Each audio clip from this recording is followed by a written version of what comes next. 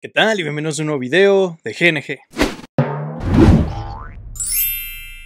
Si bien hay muchos juegos de mesa que salen al año, siempre están esos jueguitos de los que muchas personas hablan y nomás no puedes encontrar. Y pues tiene que ver con el hecho de que no vas a estar al pendiente de todos los juegos que salen, al mismo tiempo pues no hay el dinero suficiente para estarlos comprando todos y de repente es frustrante cuando te das cuenta que son buenos juegos, que a lo mejor tú crees que los podrías haber disfrutado, los intentas conseguir y ya están fuera de edición, están carísimos y eso si los llegas a encontrar. Es aquí donde las reediciones pues brillan y te permiten estar jugando juegos que de otra forma a lo mejor no podrías haber encontrado. Si bien yo soy partidario de que pues hay demasiados juegos y no vas a estar frustrado porque no puedes conseguir ese juego, también es bonito encontrar ese juego que tanto buscabas, que tantas ganas tenías de probar y finalmente poder ponerlo en la mesa. Entonces me costó mucho trabajo hacer este top porque hay muchos otros juegos de los cuales quisiera hablar, pero al final estos cinco jueguitos son los que más satisfacción me han poder tenerlos al fin, poder ponerlos en mesa y disfrutar juegos que algunos de ustedes seguramente años y años llevaban ya disfrutando. Entonces vámonos a mi top 5 reediciones.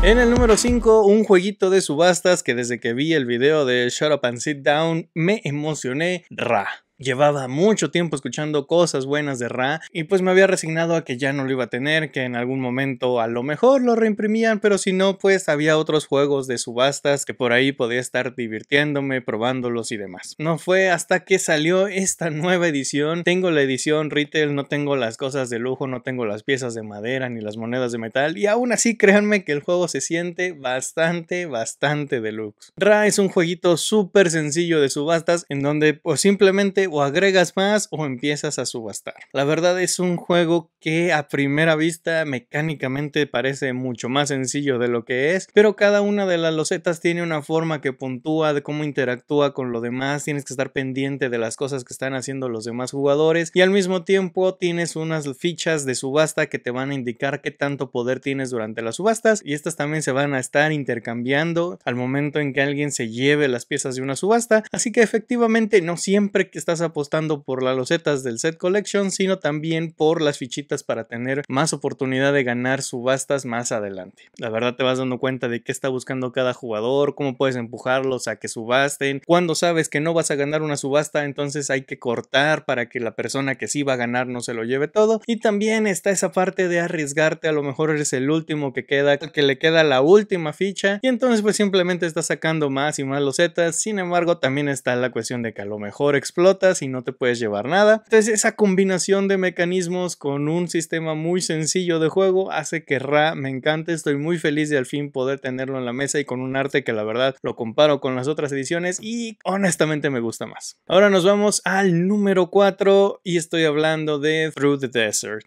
De Through the Desert también Shut Up and Sit Down tenía la culpa de que a mí me haya llamado la atención y que lo quisiera tener en la mesa. Los vi jugar una partida en uno de sus videos y dije este es un juego que va a funcionar funcionar bien con la familia que a mí me gusta y que aparte se lo puedo poner a mis demás amigos y podemos estar ahí molestándonos. Lo veía como una alternativa para Ticket to Ride porque precisamente ya llevaba mucho tiempo jugando Ticket y mi sorpresa fue que no se podía encontrar. Pasé años y años, vi una que otra como alternativa que salía inspirado en Through the Desert, pero no era el mismo juego. Entonces cuando supe que iba a salir una reedición, la verdad es que me fui de lleno, sí o sí lo quería. Pero el juego en sí vamos a estar armando rutas con nuestros camellos. Cada quien tiene un líder de cada uno de los colores de los camellos y vamos a estar expandiendo nuestra caravana. Vamos a querer estar encerrando zonas, conectando con oasis, al mismo tiempo bloqueando el avance de los demás jugadores. Y es un jueguito que se ve muy bonito en mesa. Si no sabes de qué va, te cuesta un poco entender qué rayos está pasando en el tablero, pero si ya lo sabes jugar, es muy sencillo y aparte de esos juegos que lo pones a jugar bien rápido, simplemente vas a tomar camellitos de algún color, los vas a colocar en el mapa y listo. Los turnos son rapidísimos. Esta nueva edición me gusta bastante el arte, la calidad de producción y las expansiones le agregan un poquito de más carnita al juego que la verdad yo aprecio mucho. Creo que si solamente hubiera sido el juego base, a lo mejor no estaría tocando tanta mesa como lo ha hecho últimamente, pero con esas expansiones le da la suficiente rejugabilidad y un poquito más de qué pensar que la verdad hace que yo lo disfrute y me guste bastante. Nos vamos con el número 3, un jueguito cuya reedición honestamente no me gusta el arte, estoy hablando hablando de Libertalia. No soy tan fan de este nuevo arte con animalitos, la verdad es que la edición anterior con el arte parecido a Piratas del Caribe me llamaba muchísimo más la atención. Sin embargo, esa edición está ya imposible de conseguir y además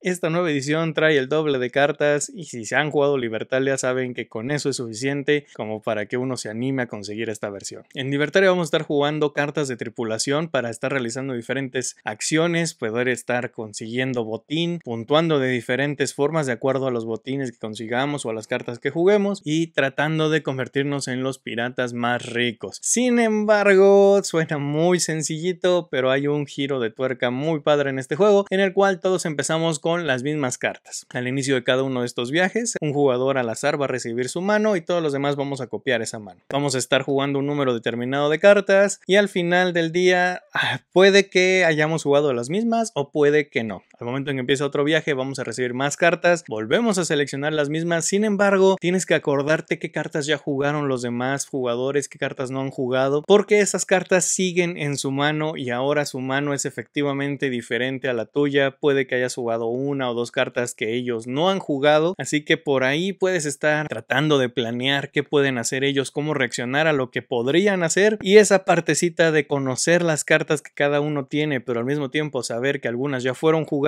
le da mucho, mucho peso a la toma de decisión. De repente ves que la persona ya jugó su 30, sabes que era la única persona que lo tenía, sabes que ahora puedes jugar tu 29 sin ningún tipo de miedo y ese tipo de decisiones se vuelven muy, muy padres. La verdad es un juego que vive gracias a la variabilidad que hay de las cartas. Entonces el hecho de que esta nueva edición tenga el doble, la calidad de producción también es muy superior y al mismo tiempo hace que funcione de todo el número de jugadores. Tiene un modo de solitario que la verdad se disfruta mucho y un modo de dos jugadores que no creí que fuera a funcionar, pero la verdad también funciona muy bien. Entonces, qué mejor que tener esta nueva edición. Quizá también como yo no seas fan del arte, pero si eres fan del juego, vale mucho, mucho la pena. Ahora nos vamos con un jueguito de colocación de trabajadores que mucho tiempo lo descarté porque creí que era de trenes y, y no soy realmente tan fan de esa temática o de ese estilo de juegos. Para mi sorpresa, después me enteré que era de colocación de trabajadores. Estoy hablando de Ultimate Railroads. Ultimate Railroads es la caja grande de Russian Railroads. Precisamente esta nueva edición trae todos los mapas, trae todas las promos, trae todas las expansiones. Es todo lo que hubieras querido estar consiguiendo de Russian Railroads. Y la verdad es que lo agradezco mucho porque el juego base está muy bien, pero llega a estar un tanto sencillo. La verdad es que creo que si hubiera tenido la edición base a lo mejor la hubiera acabado vendiendo, si me hubiera vuelto un poquito repetitivo, pero todo lo que trae la edición Ultimate Railroads, híjole, le da una rejugabilidad increíble, vayan a ver la reseña. Si bien es una colocación de trabajadores muy tradicional en ese apartado mecánico, en la parte de construcción de rutas y cómo vas a ir subiendo diferentes tracks, vas upgradeando tus vías y al mismo tiempo te va permitiendo conseguir nuevos bonos. Cada uno de los mapas le da un giro de tuerca interesante a la mecánica del juego base. La verdad es que estoy muy feliz con esta edición. La caja está bastante grande, pero viene bastante llena, lo cual pues se agradece bastante. Y la verdad es que me agrada mucho haber tenido esta nueva edición. Creo que Russian Railroads lo llegué a conocer en un punto donde no estaba tan clavado en el hobby, a lo mejor no le hubiera dado tanta oportunidad comprándole más expansiones, pero al tener todo esto me hace apreciar a lo que ha llegado el juego y la verdad estoy muy muy feliz con este jueguito. Dudo mucho que vaya a dejar la colección algún día y además me permite hacer algo que me encanta con los juegos de mesa que es estar explorando, jugando con varios módulos, probando cuál pongo, cuál quito. La verdad es una chuladita de juego. Y en el número uno, un jueguito que yo honestamente creí que ya no iba a volver a ver, que creí que iba a salir con otro nombre, otra temática. Si es que llegaba a salir, estoy hablando de Bruxelles 1893. Y es que la verdad de Bruxelles ya había salido el juego de cartas y había tenido muy buena recepción y dije,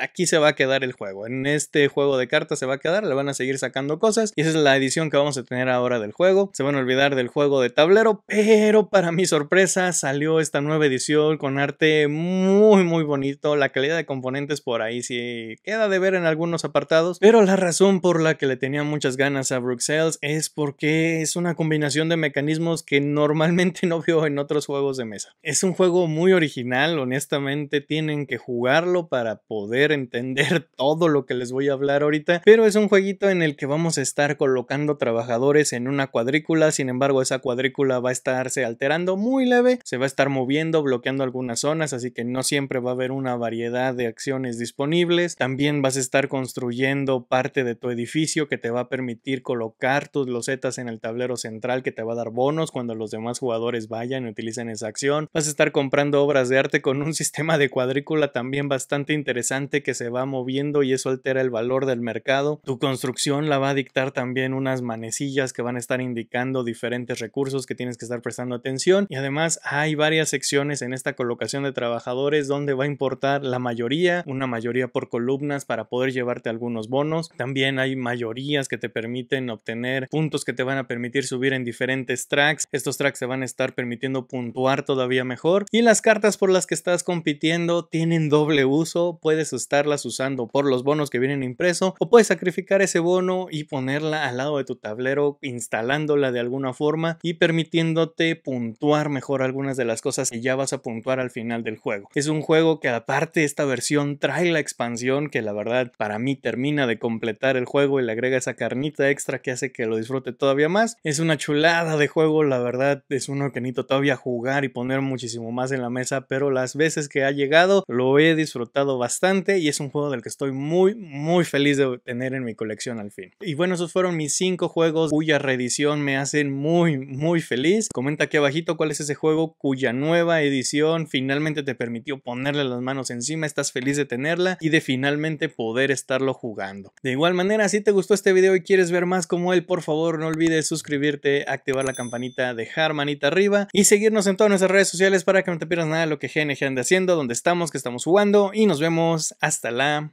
próxima.